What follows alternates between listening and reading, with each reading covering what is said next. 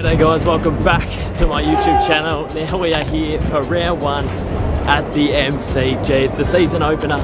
It is the grand final rematch. And judging by the traffic, it is going to be packed to the rafters.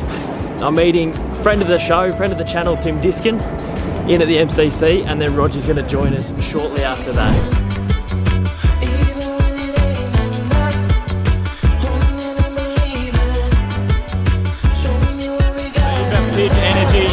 G. I'm here with Rogie and Tim Disco Diskin. Absolute vibes here. It's, it's fever pitch, Rog. I think I've been to more D's games over the past 12 months than I have Carl, but uh, I'll be here again tomorrow night. But as for right now, they've just unfurled the flag and the atmosphere is electric. And the D's are about to run out. Disco, how you feeling, mate? Absolutely electric, loving the atmosphere. Here they come. The reigning premiers.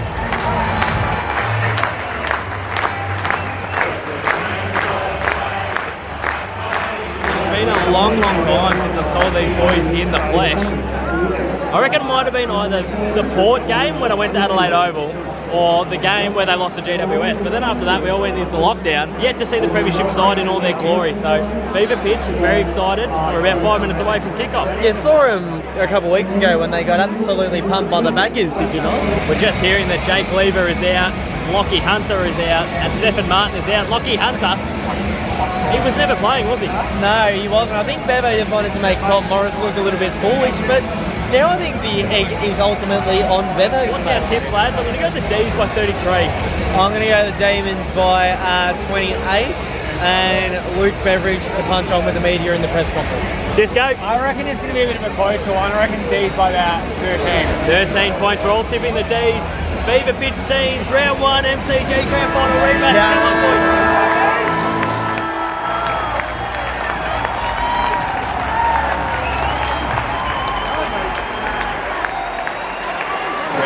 Brownie marks and goals. The D's have the first two of the season.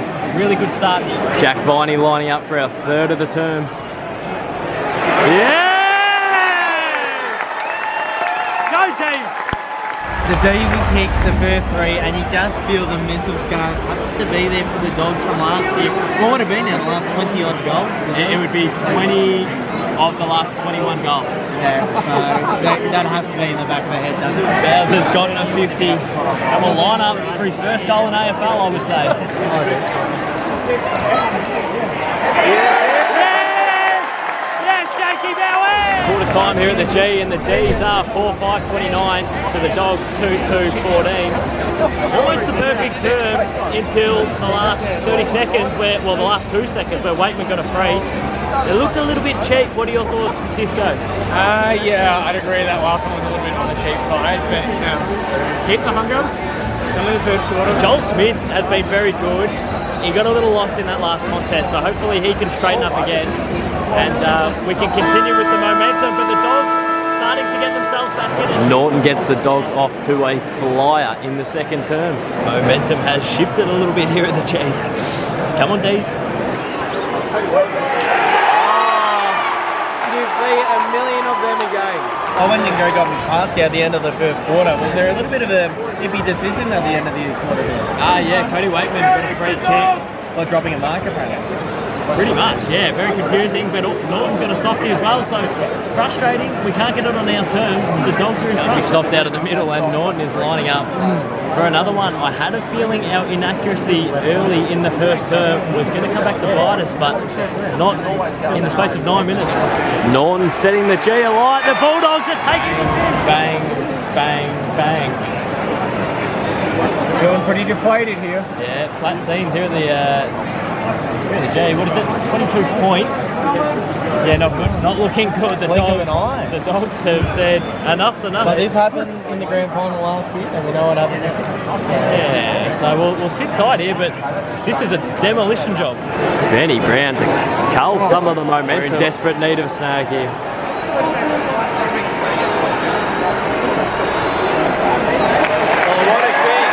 Come on! Boy, did we need that one, Benny Brown. Oh my goodness. What a lovely strike of foot. One of these track.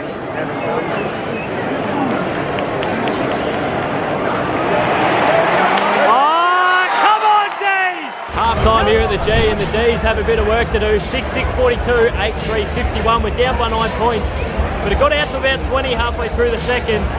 And there were some nervous moments. We need to really peg this lead back, if not get the advantage before the third term. I'm a little bit nervous, but I'll back the boys in. Big second half coming up. Come on, D. This would be a great start to the third term, Benny Brown.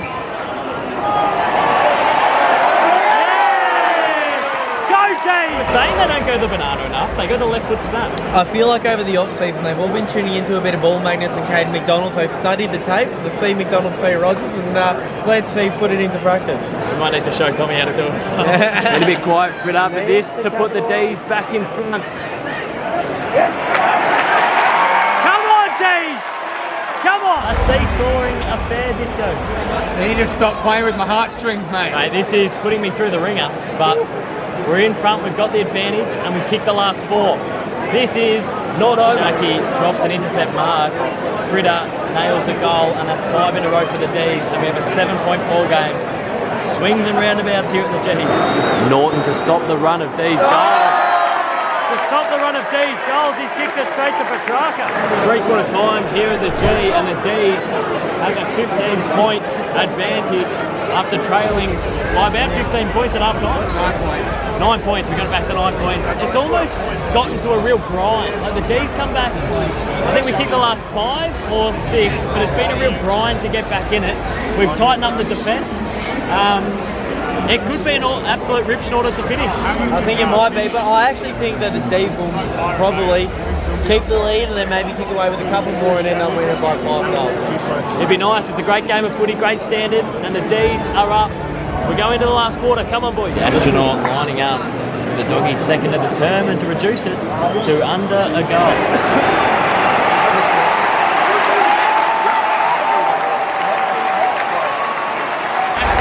one from downtown and gives us some respite.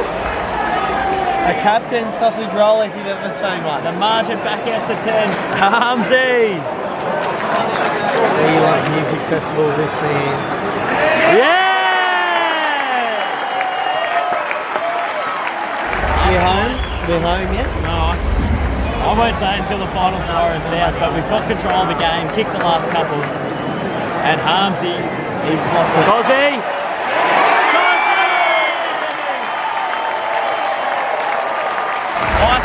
Cake from Cozzy Pickett. The D's are home in round one.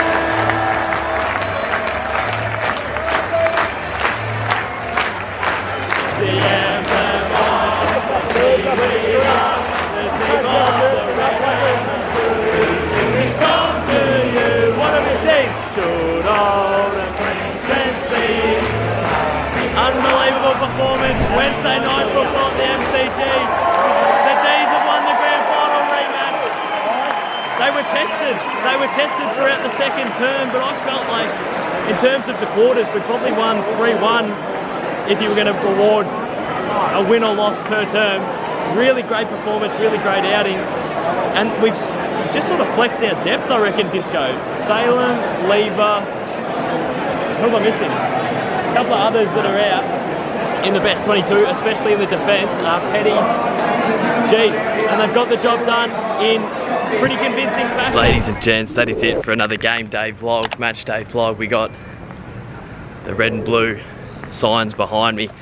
I've hung around the G a little bit longer to try and let the traffic die down. It was packed to the rafters in the car park that I use, so hopefully I've bitten off a little bit of time. Almost a complete performance, that one. That second term lapse.